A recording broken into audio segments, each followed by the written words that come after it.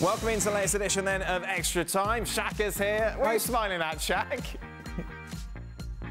Ah, at, at Craig. Craig. Yeah, just said He's been grumpy all day. It's been great. Of course he has. It's been the best FIFA Best Award. Hey, Shaq, I thought your name was Nigel. How come you've got Howard on your shirt? Why is his name Nigel? Where'd you get Nigel from? His name's Nigel. Neil. Neil. Neil. All right, Nigel. Hey, Nigel. Nigel. yeah, okay. Hey, Nigel. Oh my So it's, God. it's not My alma Nigel. mater. There you go. Neil, it's Neil. Yes, it is Neil. Why did I have Nigel in I my have head? no idea, Greg. Why you got Nigel? I don't know what's in my head today, but I had Nigel in yeah, my head. well, I've He It looks a bit like a Ni- no, does it? Nigel, doesn't it? Looks like a Nigel. I don't know what a Nigel looks I like. look like a Nigel, Nigel. Neil. Yeah. Nigel, Neil. All right. Uh, will Premier League fans stop calling? Howard. But s- will, will Premier League fans stop calling other leagues Farmers League now that City are winning titles in January and Coutinho is playing like he never left? Who's worried about it? About what? f- Being Why, why are called, people worried about I, I, it? pe- people get, get This is the same up, people that you think uh, on the live show are really interested in the FIFA team on YouTube. Yeah. What? This is Twitter. This is on YouTube, is it? Same thing. No, not necessarily. It is, same No, people. different things. The same people. Duplicates. Bots. Uh, Shaka, you call all the leagues Farmers Leagues. Yeah? Yep. Yeah, yeah, yeah, everybody's a Farmers League. Listen, this. City's, if City wins, this is what, four and five years? Yes. I mean, it's no different from anybody else, is it, really? There you are. Everyone's a farmer league. Uh, for Frank, should Mbappe Yeah. be should Mbappe be have been included in the best eleven?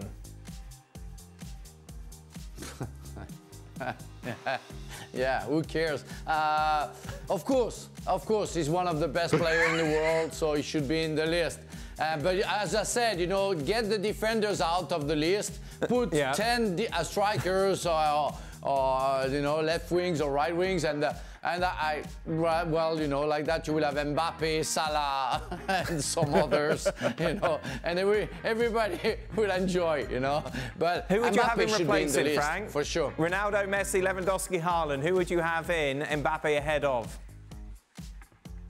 Oh my God, that's difficult. Um, do I have to choose? that's difficult. Um, Yes. I think Mbappe did. I, Mbappe. I think. I think Mbappe did better than Haaland. Last year. Really? And who? Okay, then then Erling Haaland. Oh, okay. What does Nigel think? No, Nigel's gone. He's had enough. what, Neil, what about Neil? Nigel, I mean, if there was a World Cup final, which goalie would you start? Donnarumma or Nigel, do Neuer? you- Nigel. Nigel. What's that? What's the question? Donnarumma Somebody's or talking Neuer? Who are you starting in the World Cup final? Mendy. if that World Cup final was being played tomorrow, I'd still go Manuel Neuer. Boom. There you go. Do players care about individual awards? What? yeah. Who sent that? Do you care about individual awards? Uh, Neymar does. slightly hypocritical here. Well, yeah, because you won Scot- all, all the Scottish striker, all the strikers Player do. of the Year, yeah? Well, uh, yeah, Which you do care about because you talk, talk about it a lot. Yeah, but it's a very prestigious award, that one.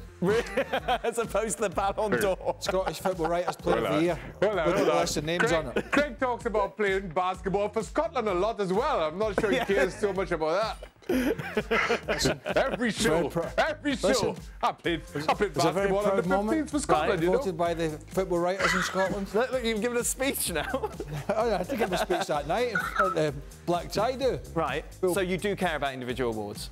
Only the ones that I win.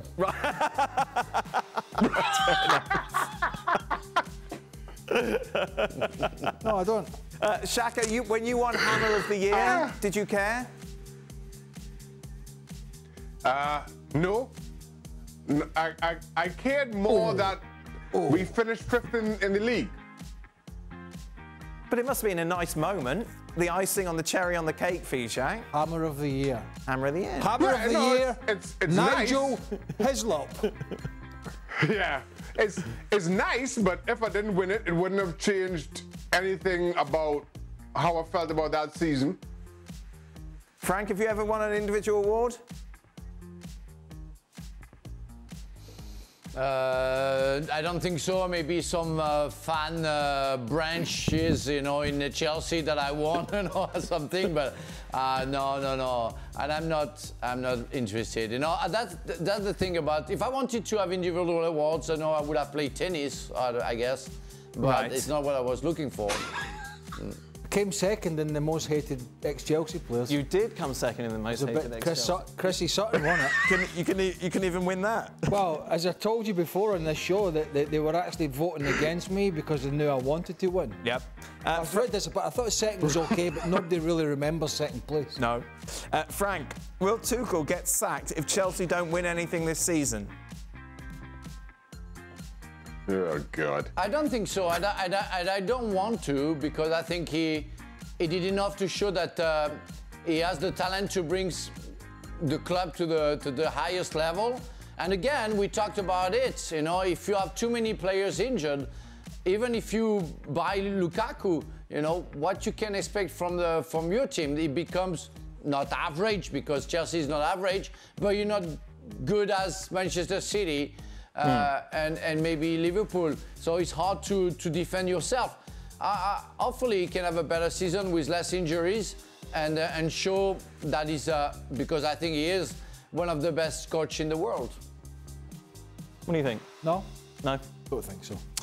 Well, next, if it would, ha- if it was to happen again, Right. I think he would probably get away with it this year. Yeah. He's still got the Champions Go to League the in the yeah, he got the Champions League anyway, and some domestic cups. But he would go to the board and say, look, here's the problems. I think they've got enough trust as him, trust in him for the time being. Here's what we need to fix, and I think they would back him again.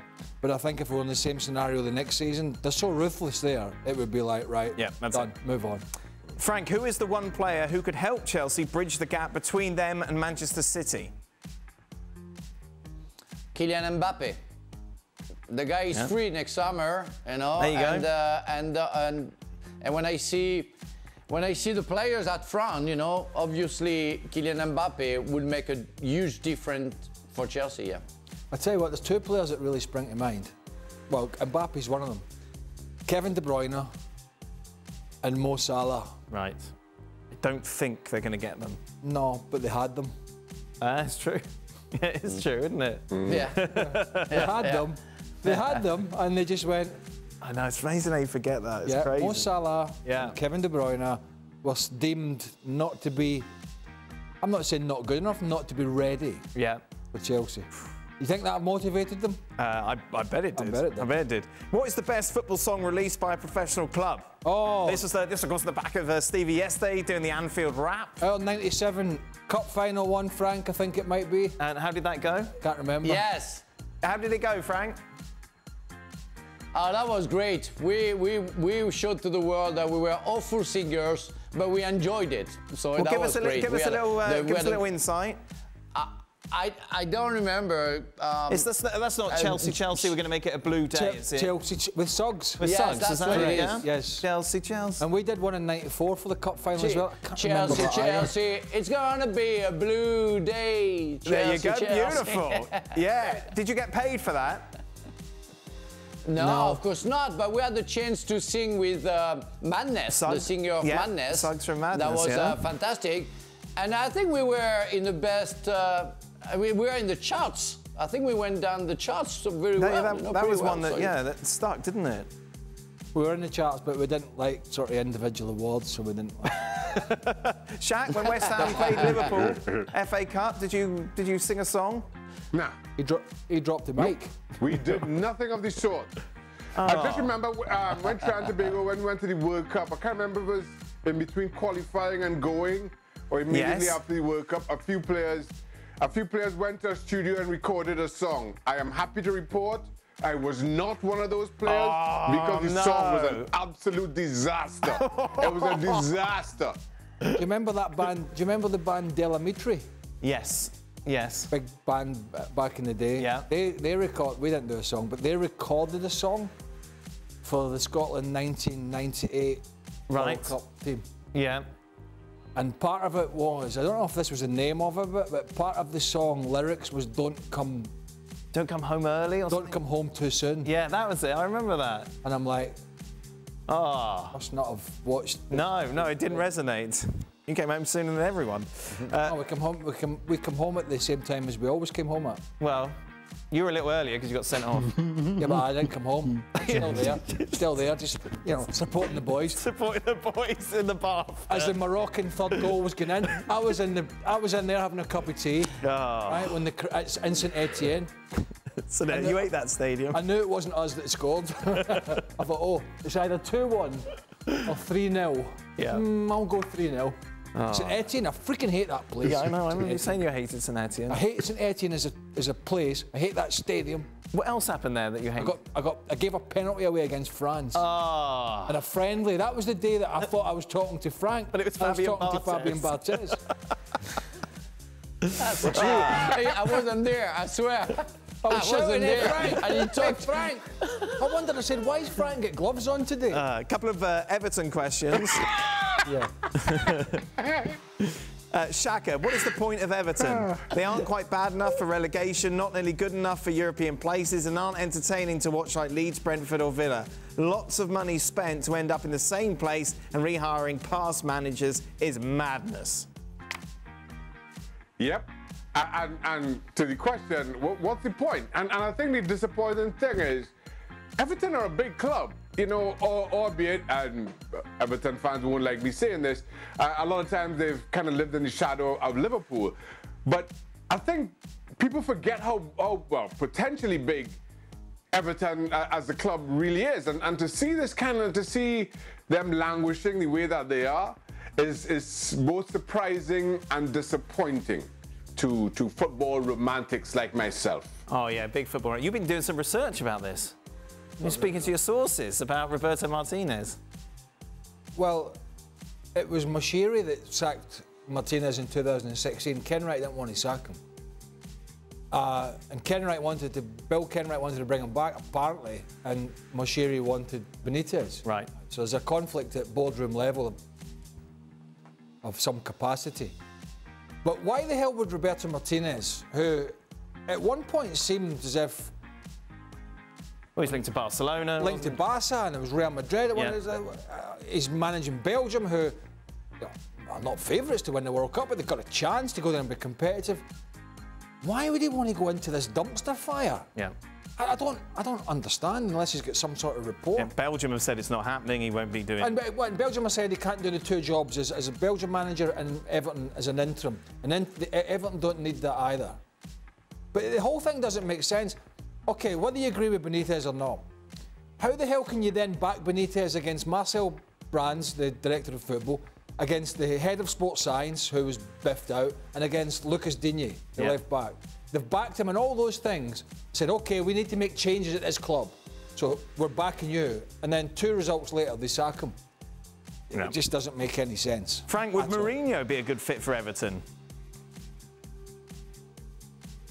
Oh, God, no. Uh, if they have the, I don't think so. If they have the money to uh, to spend for Mourinho to hire some players, why not? But for an immediate um, reaction, I would say, and change, no, I don't think so. I think I think clubs like Everton, they have to go back their their their sources. You know that the club have to hire, have to get the academy uh, from pl- players from the academy to make sure that they they build something. There is no. It's like for me, there is no foundation uh, uh, anymore to those clubs who uh, really brought the essence of football in, in England. They don't use that anymore. They want to do like the others. They want to buy players. They, they think that the chemistry will come up and that's enough for the success. No, you have to go back to your essence. And your, es- the essence of Everton is to, to get the good players and make them better. I think the only way the Martinez deal would, would materialise is, is if he makes a push for it. But why would you do that when you've got a World Cup in, at the end of uh, the year? If Belgium have a really good competitive World Cup, who knows, then his stock is back on that market again. Oh, by the way, it'll be January by the time it finishes. And who's looking for managers in January? Quite a few teams. Yeah. Uh, Lampard's name's been mentioned. Not bad.